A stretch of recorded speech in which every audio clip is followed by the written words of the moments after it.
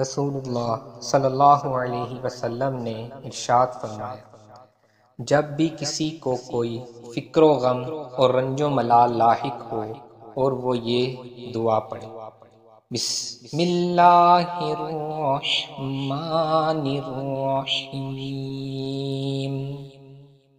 اللہم اجعل القرآن ربيع قلبي ونور صدري وجلاء حزني وذهاب همي.